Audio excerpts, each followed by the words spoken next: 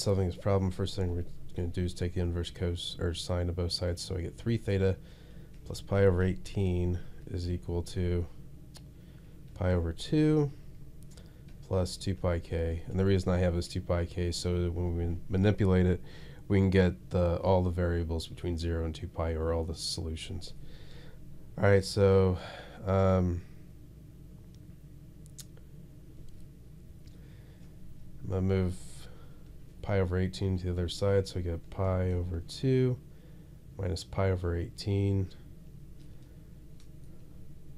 So it ends up being 9 pi over 18, so it becomes 8 pi over 18, um, which reduces down to, basically I took pi over 2 minus pi over 18. Uh, 8 pi over 18 um, reduces down to 2 pi over 9. Yeah.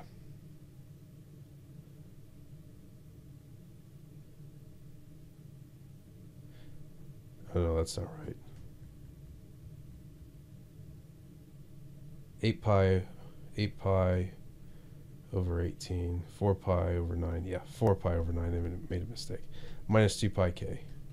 Alright, and then divide by 3 on all sides.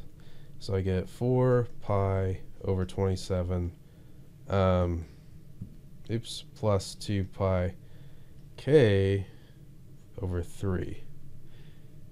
And 2 pi k over 3.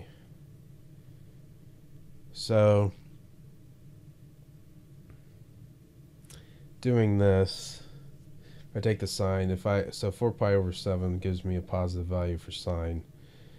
But if I take it plus 2 pi k3, um, do I still get a positive result for y? I do if I take it once. So my solutions for this uh, problem are going to be 4 pi over 27 and then 22 pi over 27 because it's still a positive value. It's less than pi because anything between 0 and pi for sine's positive, but anything past that doesn't work. So here's my solutions. Hope that helps. Thanks for watching.